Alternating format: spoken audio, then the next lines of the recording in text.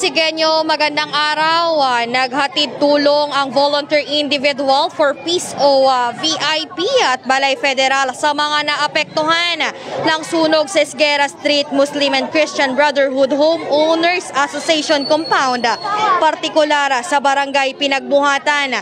Ito'y matapos magsanib puwersa ang iba't ibang organisasyon upang matulungan ang ah, 70 pamilya na, apek na naapektado naapektuhan noong Abril a 11. Aabot sa tatlong daang ah, food packs ang ipapamahagi sa mga naapektuhan ng sunog. Gayon din ah, ang pamamahagi ng lugaw at iba pang ah, pagkain. Sa ngayon, sinisimulan na ang pamamahagi ng, mang, ng lugaw o nitong ah, lomi sa mga bata. Matatandaang naiulata ng iNews Pasig ang naganap na sunog sa nabanggit na lugar noong Abril a 11 na kasalukuyang taon.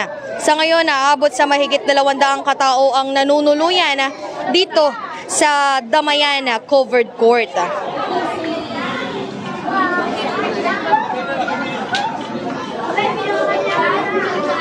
Sinabi ni uh, PFP uh, Balay Federal uh, President Saima Alonto um- Umpara na nakipag-ugnayan siya kay Dr. Ronald Adamat uh, para matulungan ng ilang mga kababayan natin na pansamantalang nanunuluyan na kasalukuyan dito sa covered court ng Damayan uh, sa barangay Pinagbuhatan. Kanina namataan ng iNews Pasig na ilang tulong na rin ang nakapaghatid uh, dito po sa mga naapektuhan ng sunog.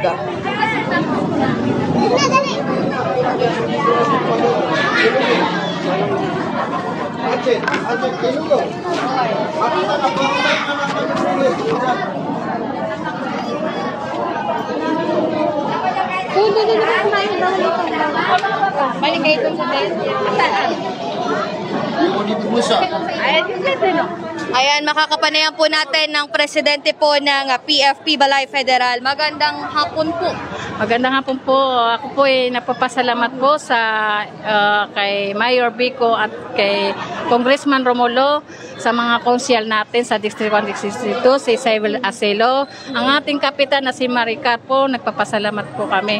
Ito po ay para po sa mga bata pong nasunugan pinapakain namin sa kanila. Kami po yung Balay Federal ng President po. Mhm.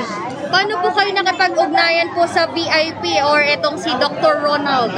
Ah, siya po ay kapatner ko po sa grupo. Usap kami na para makatulong sa nasunugan ng mga Muslim dito sa Pasig. Mhm. Ayan, ano naman po yung mga mensahe niyo po sa mga naapektuhan ng sunog? Ito po ang mensahin ko po sa nasusunugan. Sana po, yung kung may nakikinig po, sana po ay tumulong po tayo sa nasunugan. Ang kailangan nila po ay mga pampers, gasatas daw, nakusap ko sila, at pagkain. Yun lang po ang kailangan nila. Ayan. Ay, may, may gusto pa po ba kayong ah, sabihin? Wala po. Yan lang po. Maraming salamat po, Presidenta. At samantala mga kapanayam din po natin ng kanyang ah, PC Presidente. Magandang hapon po. Yes, good afternoon po. Ayan sir, ano naman po yung aasahan ng inyong grupo? Ay, ano pong aasahan ng mga naapektuhan sa inyong grupo? Ah, yes po. Ah, ang Balay Federal po ng Pasig City ay patuloy pong tutulong po dito sa mga nasunugan dito sa Barangay Pinagbuhatan. Ah, actually, nung isang araw po, eh, nandito na rin po si Senator Bongo. Ah, isa rin po kami sa nagipag-coordinate para makarating po siya dito sa Pasig City. Ah, sa ngayon po, eh, may mga kinokontak pa po kaming mga, ano, mga opisyalis po ng ating nasyonal Ah, para po ah, sila po ay magparating din po ng tulong dito sa mga nasunugan dito sa Barangay Pinagbuhatan. Sa ngayon po ba sir, may mga response na po ba itong mga na- sa pakikipag-ugnayan nyo po sa mga ah- ibang ahensya? Yes po, ah, actually ngayon po, parating po ngayon po ang ah, presidente po ng Volunteers of Individual for Peace, si Dr. ah, Ronald Adamat po. Ah, para po magbigay din po ng ah, munting tulong po ng kanilang grupo dito sa ah, Barangay Pinagbuhatan. Ayan, mensahe po para po sa mga pasigen. Ah, yes po. Ah, sana po ay tayo po ay magtulong-tulungan para po dito sa mga nasunugan sa barangay Pinagbuhatan. Kung kayo po ay meron pong gustong maitulong, na munting tulong na may pwede nyo maibaba po dito sa barangay Pinagbuhatan po, ay maaari po kayong ah, dumalaw po dito sa mga nasunugan po dito sa covered court po ng barangay Pinagbuhatan. Ayan, pakilala po tayo sir. Ah, yes po, ako po ay si Mr. Fritz Pumamaril. Ah, ako po ang pres- ah, Vice President po ng Balay Federal ng Pasig City. Ang nga pala po, kaya gusto ko na rin pong samantalahin po itong pagkakataon nito para pasalamatan po yung mga tumulong po sa amin.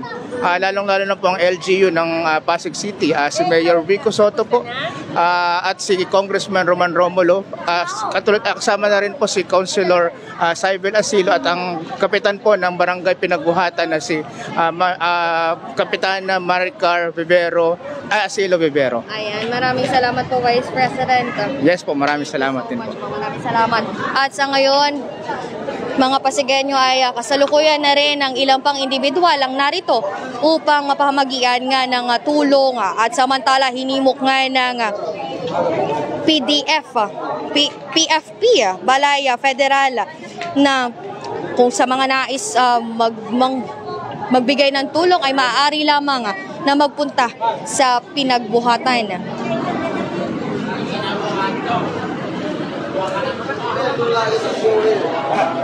Matatanda ang naiulat ng iNews Pasig ang naganap na sunog sa nabanggit na lugar noong Abril 11 kasalukuyan ng taon.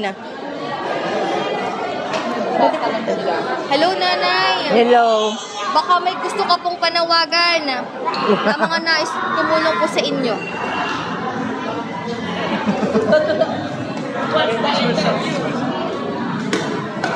Humihingi po ako ng tulong. Kami po na sunugan. Sana tulungan naman po nila kami. Kung sino man ang gustong tumulong sa amin, magpapasalamat po ako pag tinulungan nila kami. Maraming maraming salamat. Sa ngayon po ba, marami na po bang nagabot ng tulong? Wala. Aw, meron yung mga konsihal, Mhm. mga... pam- Pero si Mayor wala pa. Hinihintay pa namin. Okay po, maraming salamat Ah, po. maraming Nanay. Ano po salamat. pangalan niyo? Maria Regadio po. Okay po, maraming salamat po.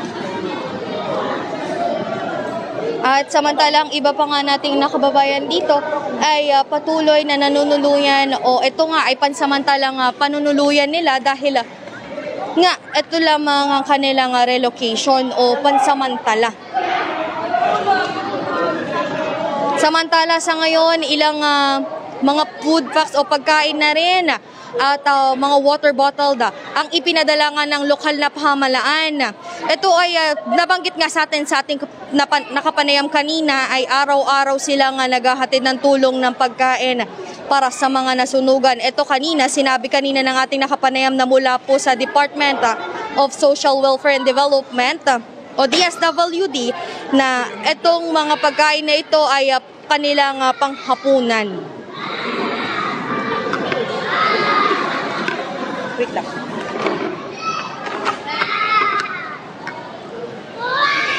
Sa ngayon, ah, aabot sa mahigit dalawandaang katao ang nanunuluyan dito sa Damayan Covered Court. ah. At uh, pansamantala nga muna sila nga dito muna. At, at ah, samantala ang ilan nga nating mga kababayan dito ay ah, patuloy na nanaw- nananawagan para manghingi ng tulong dahil nga sa kanilang kalagayan. At iba pang lokal na pamalaan na nga, ang ating lokal na pamalaan na nga ay ah, naghatid na nga ng tulong dito. At ah, araw-araw ito na, nag, na nagpapadala. At yan lamang po ang detalye ng balita mula po rito sa Barangay Pinagbuhatan. Ako po si Jen Patrolya para sa latest ng iNews Pasig.